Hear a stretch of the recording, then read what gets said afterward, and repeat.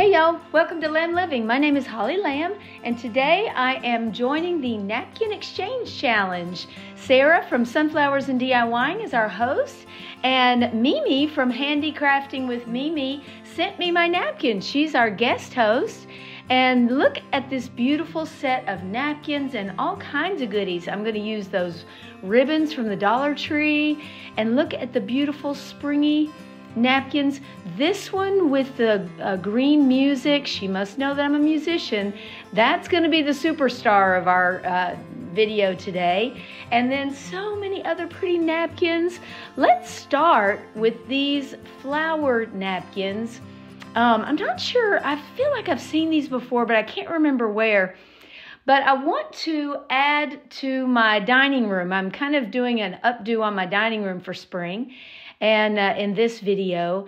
And I'm going to take these napkins, the, the green ones with the music on it, kind of inspired me to do a musical theme. Of course, that doesn't take much too much inspiration since I'm a music teacher and a church musician. So I'm going to use my uh, Wonder Under method and apply these napkins to some music. You see, I've got a couple of old methods there that I don't use anymore. I've got uh, just countless. I have a big filing cabinet of, of method books that to uh, to choose from, and so I just pulled that out. It's perfectly patinaed. I love the the old look of that old music, and uh, so I'm just going to put some Wonder Under on the back of these napkins, and this is just the regular Wonder Under.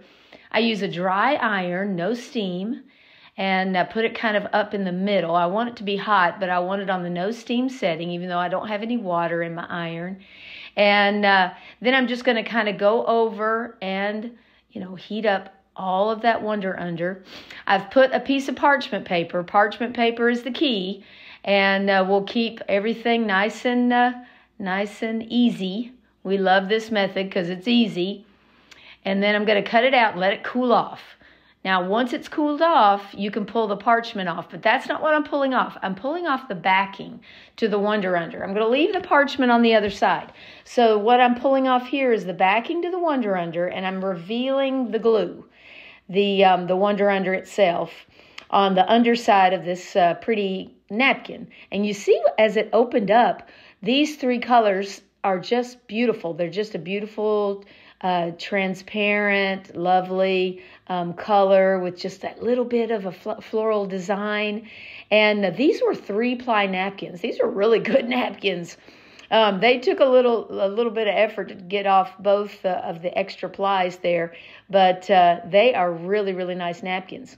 All right, so now I'm going to choose just a page from my method book, my uh, music, and I'm going to put it down. I still have the parchment paper on the front there.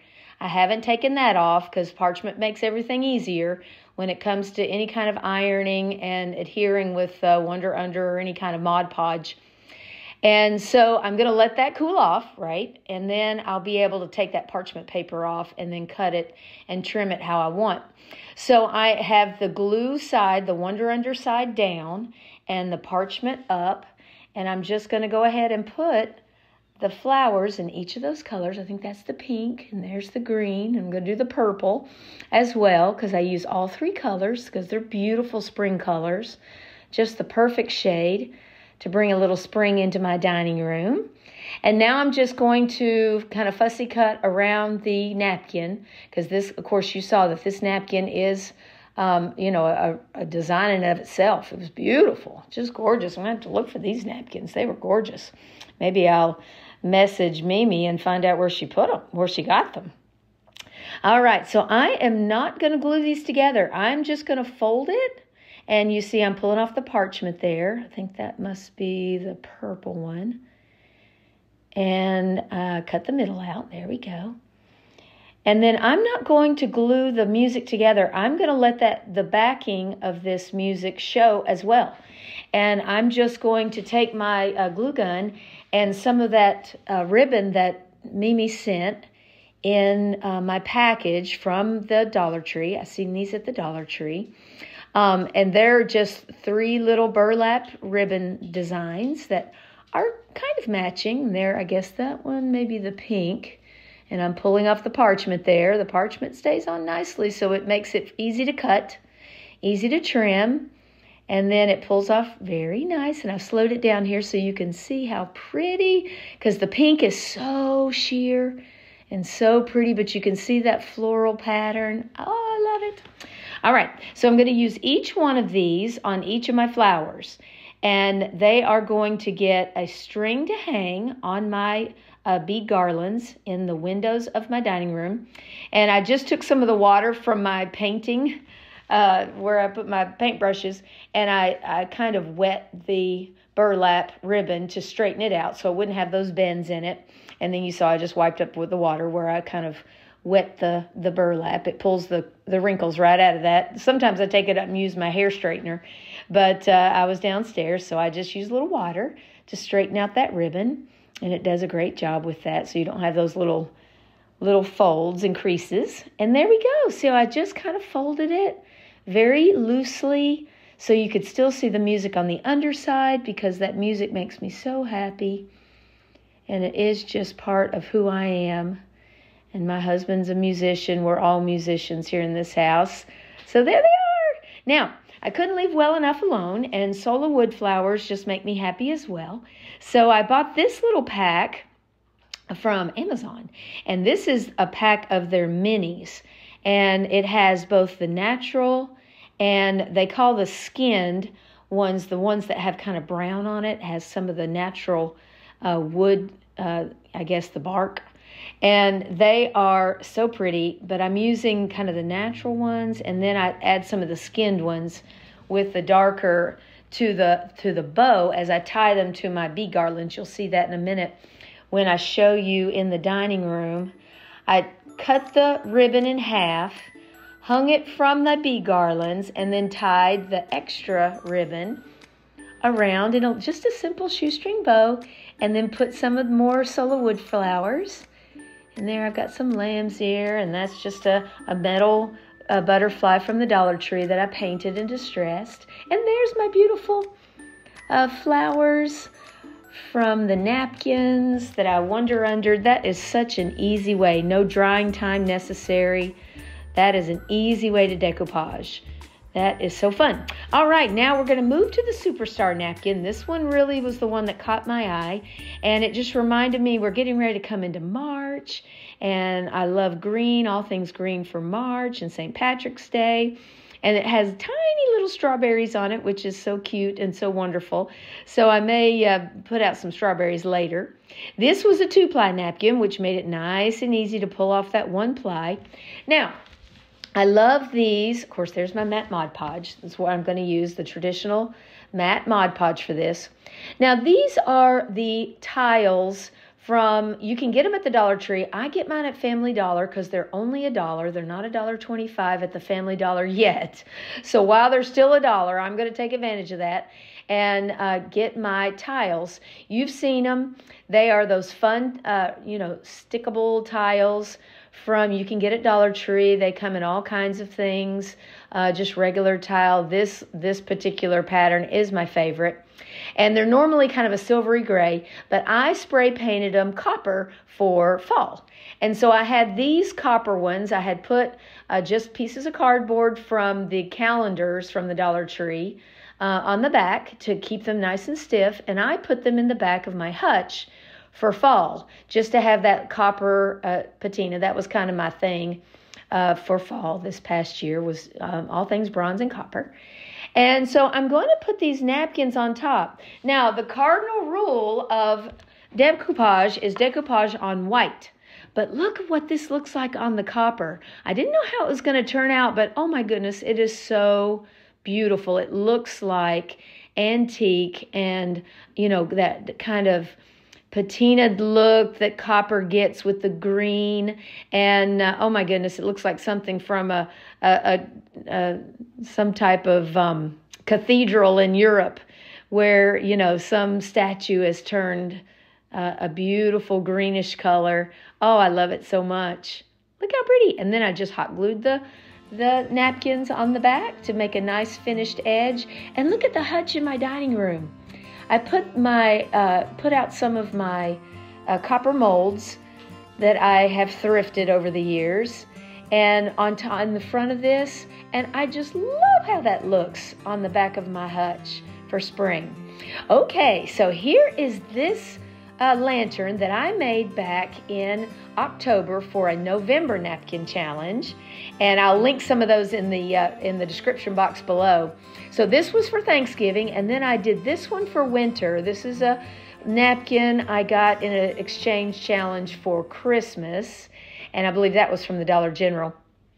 So, this could not be easier. I have done this for, like I say, the last two seasons, and I'm going to do it for spring with this one napkin I had left. Mimi sent me five of these. Thank you, Mimi. I loved them. And I'm going to have to try to find some more. But um, I had one more left to put into my lantern.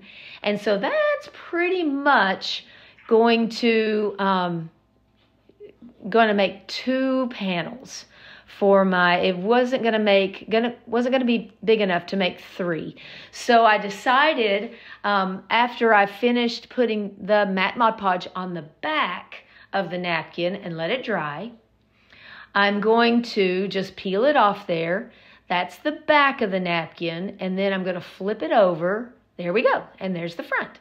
So it has that beautiful matte finish there's the back and the front. Okay Yes. So the back of the napkin has the glue.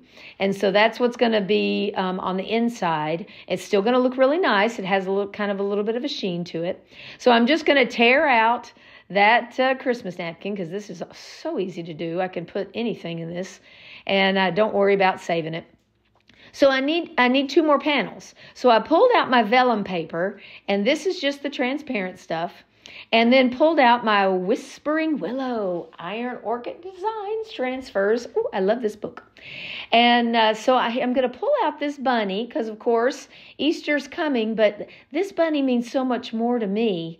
And uh, because every morning uh, in the spring, I drive around Sea Island Road, which goes through the marsh, and I count the marsh bunnies. I haven't seen them yet. It's still the end of February. So, just in a few weeks, I'm going to start seeing the bunnies come out of hibernation, and all of the marsh bunnies here on St. Simon's are brown. And they're darling. And this little bunny from the IOD transfer book, it's a little light. My little brown bunnies are all dark brown, but they are such a joy to see in the morning. And I count them. I tell my husband how many marsh bunnies I see in the morning on a spring morning as I drive to school coming around Sea Island Road. Um, it, you know, if I can see one or two, that's a great day. But if I can see four or five, that's a really great day. That's a great spring day when I see five marsh bunnies having their breakfast on the side of Sea Island Road in the grass. But I'm just going to take hot glue and put my napkin in this, uh, this these frames. I made this back in that the, the actual lantern itself, back in that uh, October video for Thanksgiving coming up on Thanksgiving. So if you wanted to see that, be sure to. All that was from the dollar store. All those uh, fixins and parts and frames. Uh, so I'm just going to do two two vellum sheets here, using more of this the florals and the pretty things from these IOD transfers. And as you know, you've probably seen um, me or somebody else do these transfers. They're like adult stickers, they're just so much fun to use and so easy. I uh, take the backing off, you know, I trim it to what exactly what I need, take the backing off, and then I make sure I know exactly where I want it before I lay it down because it's going to stick. And we don't want to tear up these gorgeous images. And then you get the wave started. You get the kind of get it going, and then you uh, scrape and pull, scrape and pull, and it comes off beautifully, and you have gorgeous art instantly on gosh all kinds of things. This is the first time i tried it on vellum and it's it's a win-win. It's you know i've i've had a hard I, honestly i haven't found anything that has not been super easy to do and so here I put this one, I'm going to lay it just ever so slightly on top of the other one. And they adhere to each other beautifully. They adhere to fabric and, and metal and paint and um, all kinds of things. And so here I go. I'm just going to hot glue with just the slightest amount of hot glue. It won't take much. Here I am. I'm always always cut big and then trim and measure and trim, measure and trim, because I don't want to cut it short. And that vellum did a great job. That was awesome. I'm really enjoying vellum right now. I'm I'm starting to print on it. I want to uh, use the vellum to put uh, an initial. We're going to put uh, kind of a crest on some vellum and put in my daughter's wedding invitations. We've already sent out the save the dates, and uh, so now it's time to get serious and uh, get the wedding invitations going because they're going to be. Um, we're going to try and make them a little fancy. And uh, these vellum sheets are easy to print on, and now I know I can do transfers. Oh man, my wheels are turning for the wedding invitations.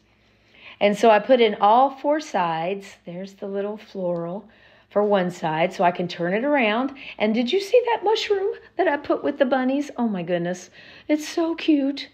Oh, I'm just mushroom crazy right now. The new IOD release came out last week and I got the mushroom molds, and so it's time. I've got to do some mushrooms here pretty soon, or I'm just going to burst. Okay, so here's the rest of my. I, that was a nice big bag of Sola wood flowers uh, from. Uh, um, uh, Amazon, and Amazon keeps uh, Sola wood flowers um, in stock for the most part. Uh, every once in a while they'll they'll run out, but they uh, typically restock pretty quick. And I also have ordered from the Sola Woodflower uh, website, and they're pretty quick on sending their shipments. And uh, so I, I really enjoy these flowers. They, if you've never seen or worked with or played with, I feel like I'm playing with Sola Wood flowers You've got to try them. They are so beautiful. And you can dye them with paint and, and food color and watercolor and just make them gorgeous. Look at this beautiful lantern. That's just an LED candle inside with some, you know, AAA batteries in there. I'm giving you a little look-see down in there because it looks good from all angles. And my Sola flowers and that beautiful green musical napkin with the little strawberries and we're ready for our last DIY. Sorry about that. My dog, I'm here in the dining room doing my voiceover, and Toby decided to bark at somebody and say hello. All right, so we're going to move on to this popcorn bu- bucket from the Dollar Tree. And we are going to make this into a riser for some of my platters on the dining room table. And so I'm going to take my white Ultramat, this is Rust-Oleum two times, and it is its own primer, so it will cover that red stripe and did a nice job.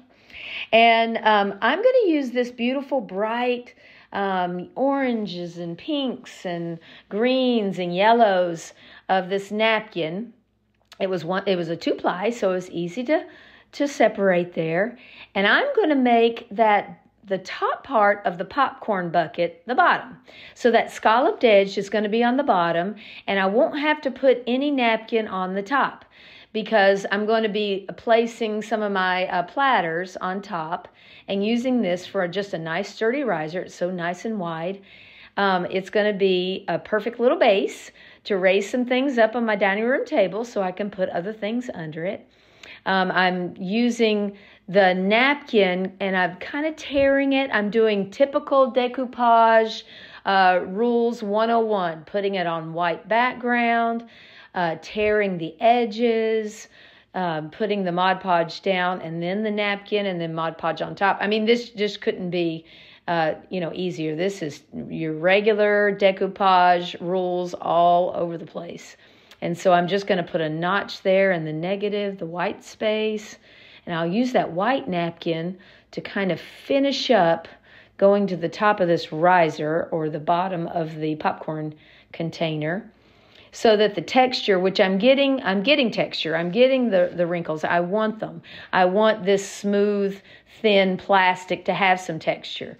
And then i'm just going to let it dry with the edges kind of just willy-nilly and so the next morning, here I am coming back with my nail file. It's a nice uh, thick grit, uh, coarse grit nail file. I order these from Amazon. I get them in bulk. And I love to use these to, um, you know, clean up the edges on decoupage. And look at the little scalloped edge. I have a kind of a uh, aqua green platter on top right there, displaying a bird and some of my um, copper molds, my brighter copper molds. And then I swapped it out for a white platter there with some shells and some of the Sola wood flowers. And I just love the way that riser just adds a little extra pop of color. Yay, this has been so much fun. Thank you, Sarah from Sunflowers and DIYing, and Mimi from Handicrafting with Mimi. And go and check out the napkins that I sent to know to uh, Aurea from um, DIY with Aurea. I'll have her uh, link down in my description box. But check out that playlist. Um, there's lots of great crafters there making so many pretty things with napkins. Oh my goodness, I just love these little flowers that I made from with the music uh, from my method books that I have used in the past and listened to kids play. And now I can enjoy this music in a whole different way. And uh, it just makes me smile, makes me so happy. And uh, here it is my dining room in the daytime, so you can see it with a little bit of sunshine there. And I just love this copper patina with the green. Oh, so pretty with my, my lighter shade copper molds and the shells and that beautiful lantern. Thank you for joining me today on Lamb Living. Thank you for watching. And I hope that you'll like this video and subscribe to my channel and uh, look at the playlist. So from the blue house on the corner, um, having fun handicrafting with my friends. I'll see you next time. God bless.